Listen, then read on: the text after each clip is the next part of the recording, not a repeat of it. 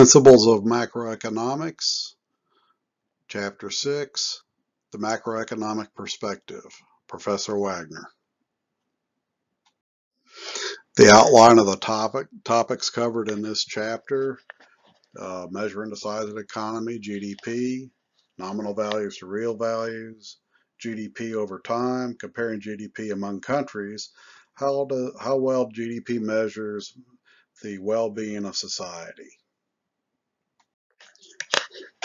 One of the ways that people can see the health of a nation is basically seeing how people, average person in society is faring.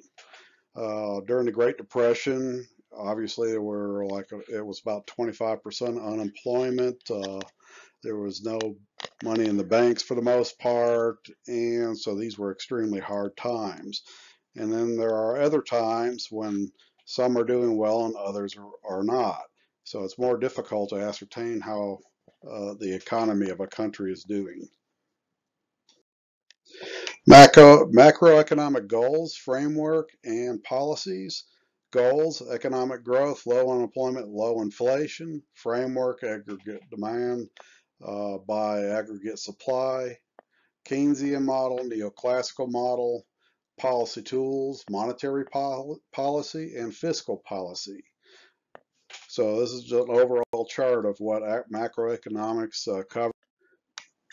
GDP is the value of all the outputs and good, of goods and services within a country within a given year, measures the size of a nation's overall economy. And so it could be measured by the total value number of what consumers purchase in the economy or, you know, or total value of what the country produces. The question of who buys all of a country's production, uh, basically there are four main players in this. There's consumer spend, spending, business spending, government spending, and spending on net exports. You might want to remember this one for the test. The percentage of components of GDP on the demand side could be uh, sliced up like a pie, and consumption was nearly 70%. Our imports were negative 14.5%, uh, which means we did not really consume very much from other countries at that point in time. 11.8 uh, export.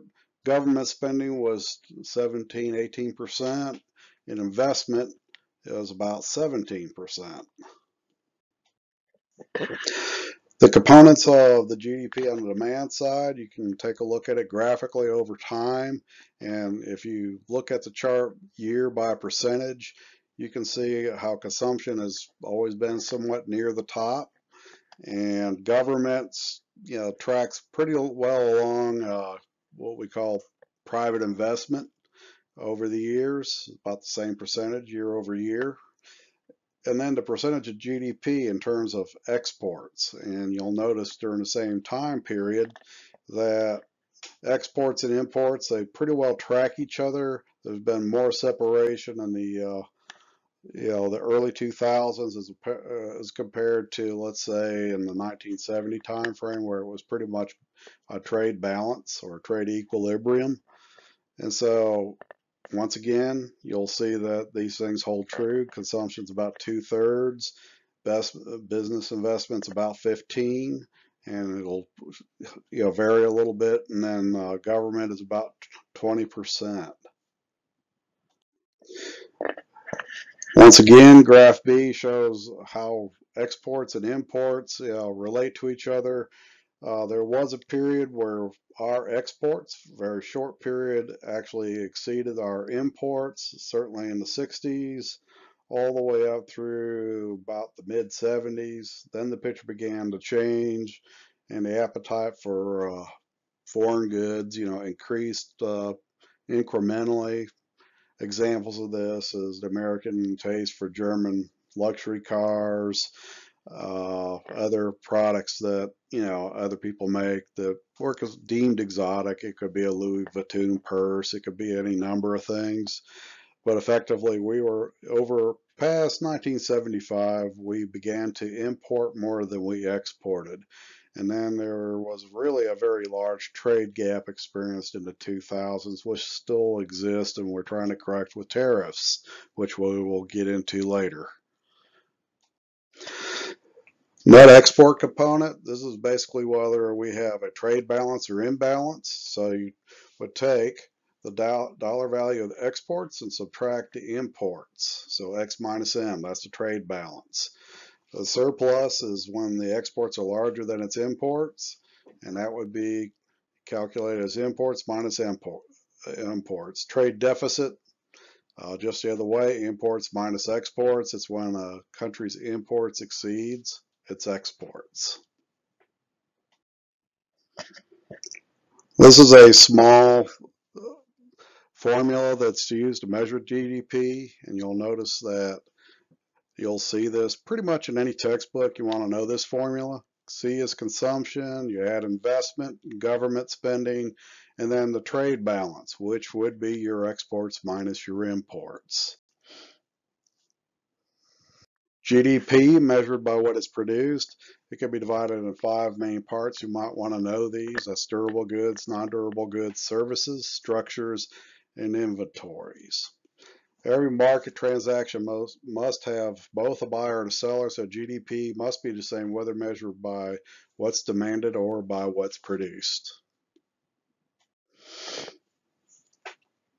Percentage of components on the GDP side are, of production. So you have structures of about 8% to durable goods. What are durable goods? Durable goods are goods that last more than a year, which is 16%. Non-durable goods are goods that basically last less than a year. And that's about 13.5%. And then services make up 62.4%. You notice a change in inventories is not shown since it's typically less than 1% of GDP. This is a graph over time of the types of production that occur, measuring the GDP. And you'll notice over time, services have uh, steadily climbed from about less than 45% to somewhere just beneath 65%. So we've become more of a service economy. That's what that tells us. Non-durable goods, the manufacture of those was uh, 25% in 1960, and we're now to a level of about 15%. On the durable goods front, we've got a little bit of a less of a decline where we've uh, been somewhere between 20 and 25% for about a 20 period stretch from 65 till about 1990 and then it started to dip downward where we were under, well under 20%. Structures, similar type of path, it stayed pretty flat until fairly recent times. And so this gives you a picture of where the emphasis of production has taken place over time in the overall economy. This slide carries on the narrative that I've spoken of about non-durable goods, and so really what the slide is doing is a continuation of the discussion I gave on the previous. And in the process of trying to determine the numbers properly, there is a problem with double counting. So double final goods and services, the output used directly for consumption, investment, government, trade purposes versus intermediate goods. And so double counting is output kind of more than, you know, basically counts as kind of more than once as it travels through the stages of production. That's potential mistake in measuring GDP. GDP is the dollar value of all final goods and services produced in the economy in a year. I would definitely say no, no this one for sure. This slide, more glossary. You have the gross national product. And so that's what's included domestically and what's produced by domestic labor and business abroad in a year.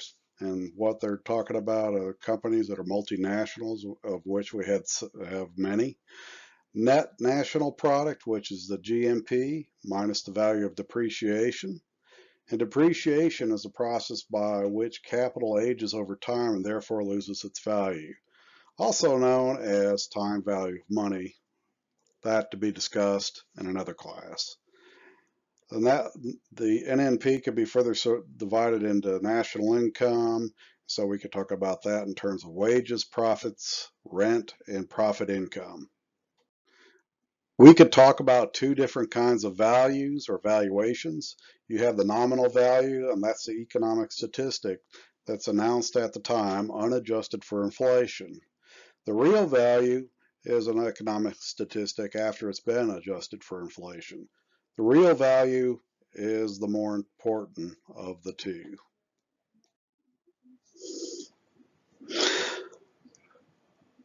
Nominal value of GDP from 1960 to 2010. And so you have the nominal G GDP in billions of dollars, which effectively uh, you could just knock the other zeros off and talk about it in terms of trillions of dollars. And you'll notice uh, it is a step steady uprise up till about 2010, which is kind of interesting because in this time period was the Great Recession and Still, somehow or another, our GDP numbers apparently haven't really shrunk very much at that point in time, or there's a bit of a delay. Just a point to make. The GDP deflator is basically a way of talking about money or money spent in terms of the value of a dollar. So it's kind of a form of indexing. And you'll have the legend over here on the uh, y-axis that says GDP deflator. 2005 equals 100. So basically everything is spoken of in terms of the buying power at 2005 or basically uh, that's 100. All right, the, the, it's a price index measuring average prices of all goods and services, in, including the economy. And of course, it's risen exponentially through 1960 to through 2010. And then there's such a beast as called real GDP. So you take the nominal GDP calculation and you take the price index and divide that by 100 and that price index is the same as the GDP deflator. So basically they're basically adjusting the real GDP in terms of the value of money and the buying power in any given year that you want to use as a benchmark. This is an example calculating real GDP. So 1960, this is the amount of money, the output, the GDP def, uh, deflator.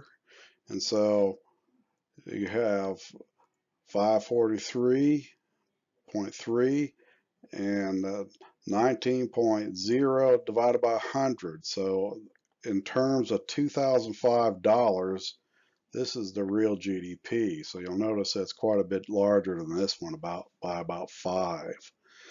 In 2005, the real GDP, because the real GDP is talk, spoken of in terms of the buying power of 2005 dollars, um, is simply this calculator. There is no calculation. This is the number for 2005. In 2010, we take that number and the the index is 110 you take that. And so what you wind up doing is dividing this number by 11 and this would be the real GDP in terms of 2005 dollars. Answer to the question is explained as in the previous slide. And here's a calculation and how they got there. So basically, 100 over 100 is 1. Nothing's changed once again. Real GDP, billions of $2005 in 2005. A $2005 is a $2005. This chart tracks nominal and real GDP through 1960 to 2012. And you'll notice that the nominal GDP somehow or another is considerably less, it has much more of an exponential curve to it than let's say the real GDP, which is slightly flatter, but it still indicates a path of growth because of the upward slope. There was a point in time somewhere around 2005 where the two met. Uh, I'm not really going to say that's particularly uh, uh, significant other, other than the two lines crossed there, but effectively the nominal started becoming more more valued than the real over a period of time, and that's because of the index. The next question involves calculating real GDP growth rate. This is spoken of all the time, every quarter by the Federal Reserve Bank. And so this is a great determinant of how vibrant the economy is. It's a key measure. It's on business news almost daily. And so how do we get the number? And so we go ahead and do the calculations as we did before and they say, well, what was the real GDP growth rate from 1960 to 2010? So you'll take the 2010 real GDP, subtract the 1960, and divide that by the 1960 times 100, and that will be the percentage change. So they plug in the numbers, and the growth rate from the growth in terms of the value from 1960 to 2010, the economy grew by 376%, and that's in real terms. Tracking real GDP over time, governments report it as an annualized rate, even if they uh, project it during a quarter. So when I'm analyzing gro analyzing growth in a quarter, to calculate a growth in real GDP for the quarter is multiplied times four when it is reported. You know, basically at that given point, that is the percentage of growth for a full year, and that changes throughout the year. Uh, recession is a significant decline in national output. And then a depression is especially lengthy and deep decline in national output. So it's a, basically a rece- depression is a recession on steroids. So the 2008 situation uh, just barely missed becoming an actual depression by the mere fact that we had uh, economic tools in our tool bag via the Federal Reserve that helped us prevent that. This graph shows the uh, real GDP in billions of dollars, and we're going all the way back to the beginning of the 20th century to near present, 2016. And the real GDP in 2016 was about 16.7 trillion. But after adjusting to remove the effects of inflation, this is about a 20-fold increase in the production of goods and services since the beginning of the 20th century. More glossary. Peak during a business cycle is the highest point of output before a recession hits. Trough during a business cycle is the lowest point of output in a recession. A word about recessions. Uh, typically, as they're reported on TV, by the time you hear the fact that we are in a recession, uh, it usually takes six months of a decline in output for it to be deemed a recession. So by the time you heard about it, we've already been on the decline for six months. And then it's a matter of how long does it last thereafter. Usually, you are already you've already hit the trough and you're bouncing back out of it uh, several, you know, for several months after that, and then it's over with. Business cycle is economy's relatively short-term movement in and out of recession.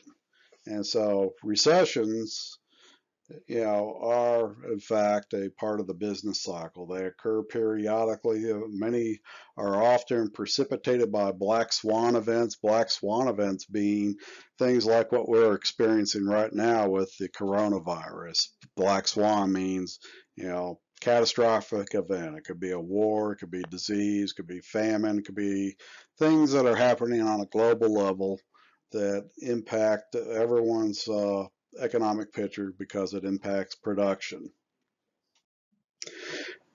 In comparing GDP amongst different countries, uh, we have to find a way to convert things to a common denominator using an exchange rate.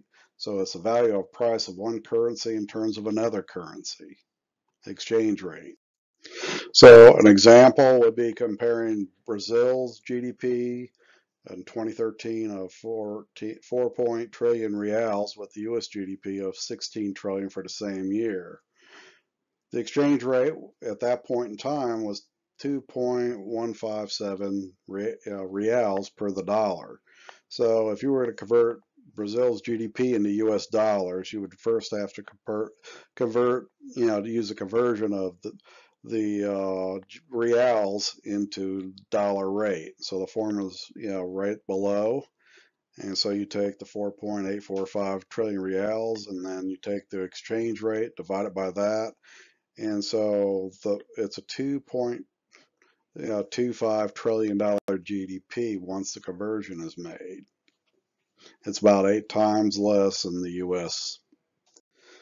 Another measure used very often in terms of talking about economic cycles, GDP per capita. So we talk about our output in terms of how many people we have. So basically you take the GDP and you divide it by the population. So you can take the 16.7 trillion and divide that somewhere with a number of about anywhere from 310 to 320 million because I believe that's somewhat near the population right now, and then that would give you a GDP per capita figure. And why do people measure the GDP? Well, it measures the well-being of, uh, of a society overall. So they talk about the standard of living, but it doesn't necessarily talk about people's happiness or well-being. Or, and uh, the difference between GDP, there is a difference between GDP and a standard living. GDP doesn't include leisure time, which is a quality of life issue, actual levels of environmental cleanliness or health and learning, production that is not exchanged in the market, level of inequality in society, and what technology and products are available. So GDP is really just raw numbers. It's about dollars and uh, you know what the measure of those dollars are in terms of an aggregate uh, does not take the intangibles into, into account. End of chapter 6.